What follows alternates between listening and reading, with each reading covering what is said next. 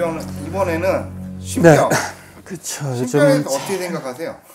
요즘 제일 많죠 사람들이 제일 궁금도 하고 그리고 요즘에 신병 때문에 많이 아픈 사람들도 많고 그리고 이제 지금은 왜 그러냐면 시국이 그럴 수밖에 없어 귀신이 갈 자리가 없는 거예요 지금은 예전에는 묘자리도 잘 쓰고 좋은 자리에다가 사람도 인간이 집이 편해야 되듯이 귀신도 집이 편해야 된단 말이야 응? 근데 지금 귀신이 갈 곳이 없어. 산은 다 까부시고 조상묘를 그냥 다 날려버리고 그러다 보니까 이제 그게 갈 데가 없어서 사람한테 찾아간단 말이야. 지금 그 시국이 그래. 그러니까 지금 정신병자도 많고 미친 사람도 많고.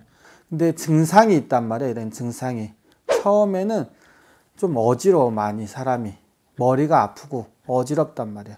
그리고 자꾸 음, 이게 속으로 많이 오기 때문에 매식거럽기도 하고 음, 속이 뒤틀리기도 하고 그리고 이제 가위가 눌려도 처음에는 이게 가위 눌리는 게 사람이 이제 귀신들이 나하고 접신하는 중이란 말이야.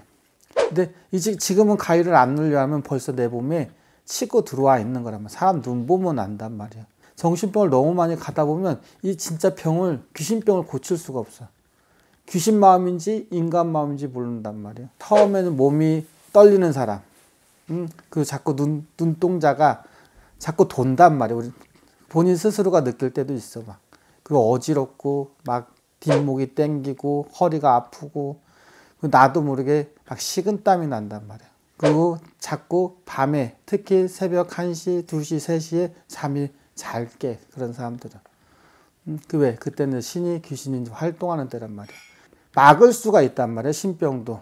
저도 이거를 인정하지 않아서 십몇 년을 인정하지 않았기 때문에 나도 지금 이 자리에 서 있지만 이걸 미리 고칠 수가 있단 말이야 보면.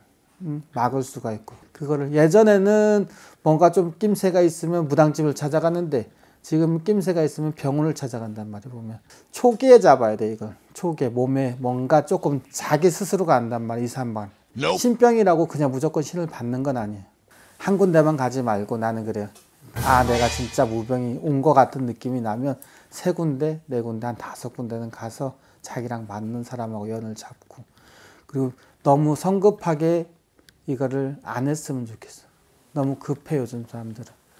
음, 그러니까 몸으로 치는 거는 떨림이 오든지 내가 정신적으로 조금 뭔가 이상이 와 자기가 알아.